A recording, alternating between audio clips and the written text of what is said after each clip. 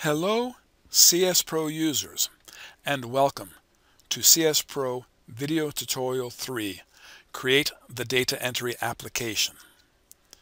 In this tutorial we will create a CSPro data entry application to enter our data. The questionnaire we will be using is the same one used in tutorial 1. We will use the dictionary created in tutorial 2. If you are not familiar with the questionnaire, review tutorial 1. If you are not familiar with creating a data dictionary, review tutorial 2. The quickest way to create a data entry application in CSPro is to use the data entry application wizard. Open CSPro, create new application and click OK. We're going to create a data entry application. So click on data entry application if it is not already highlighted and click OK. If you are not already in your tutorial folder, navigate to the folder. Here I am creating my data entry application in the My CSPro tutorial folder. Enter the file name for your data entry application. I will use the name My Entry. Click on Create. Now select the input dictionary. This will be the dictionary that we created in tutorial 2. Click on the ellipsis, click on the dictionary, click on Save. Now click OK. CSPro asks you, would you like CSPro to create a set of forms for you based on the input dictionary? To use CSPro's data entry application wizard, we will simply click on Yes. We are presented with a variety of options. For now, we will accept the defaults and click OK. CSPro now has created our data entry application. Here we see the household identification form. I will click on Person Record and I see the Person Record form. I click on Housing Record and I see the housing record form. It is always a good idea to make your data entry application look as much like the questionnaire as possible. We will now do so. The CSPro Data Entry Application Wizard has created three forms for us. ID form, the person record form, and the housing record form. We want to place all of the items from all of the forms onto a single form. I will delete the housing record form by right-clicking on Housing Record Form and selecting Delete Form.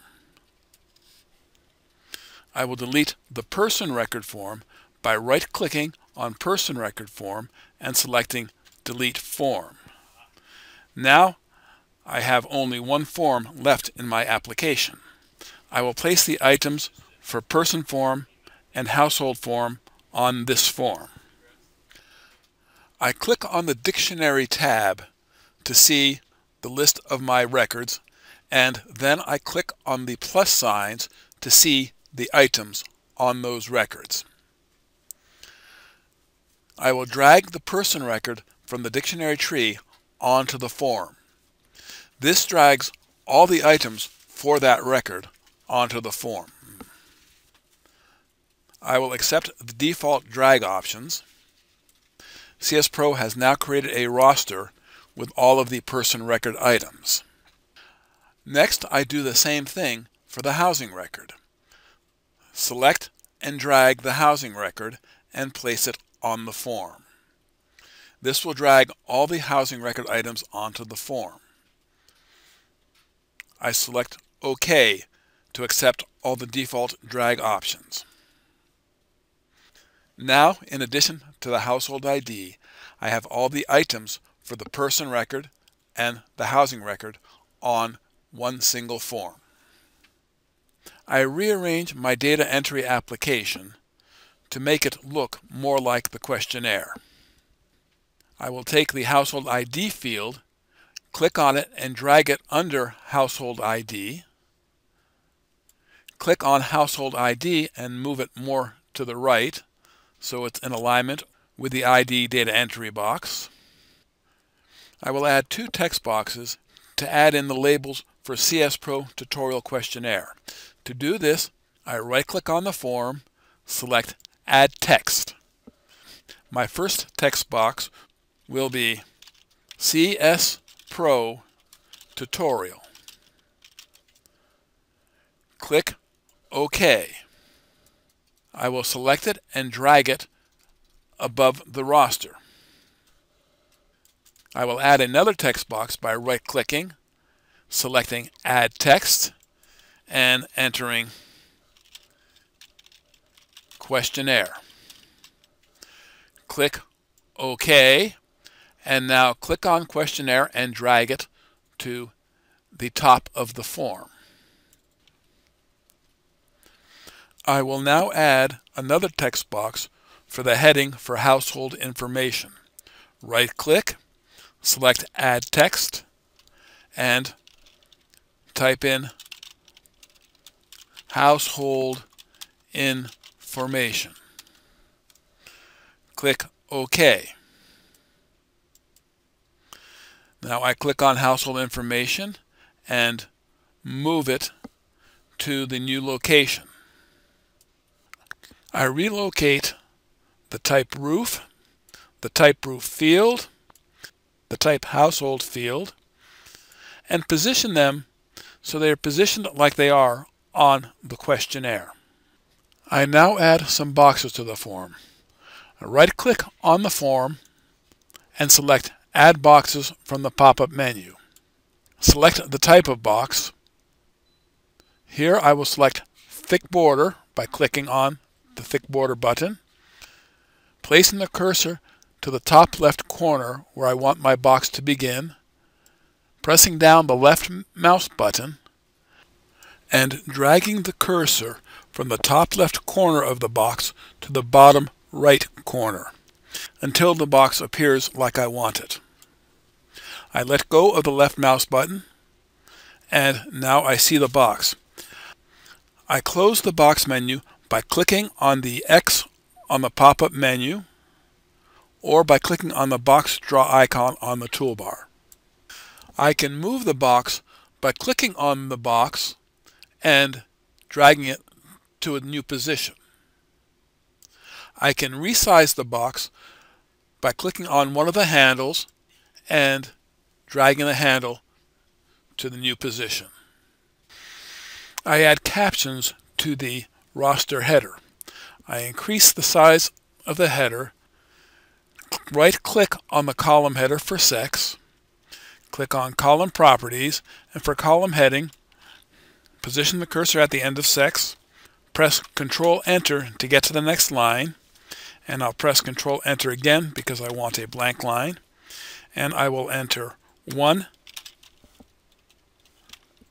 male, Control Enter, 2 female. I will make my horizontal alignment center and my vertical alignment middle. Click OK. And now you see I have the captions for sex. I will do the same thing for marital status. First I will resize the roster by clicking on the roster, grabbing the handle, and expanding the roster size. And below, expanding the roster size.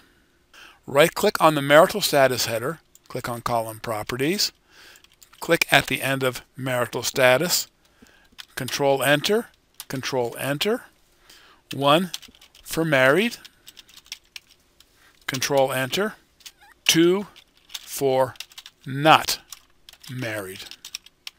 And I again will use a horizontal alignment of center and a vertical alignment of middle. Click OK.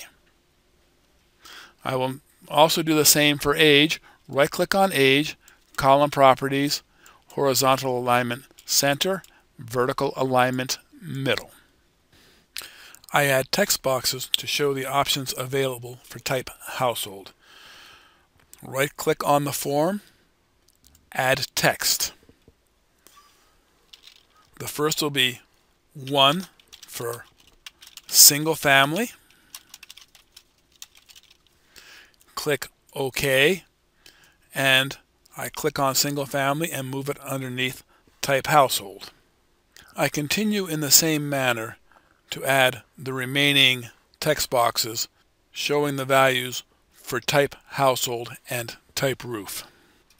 I align these items by selecting the items I wish to align, selecting Align from the menu, and I will first align these to the left, and then I will click Align again and make them evenly vertical.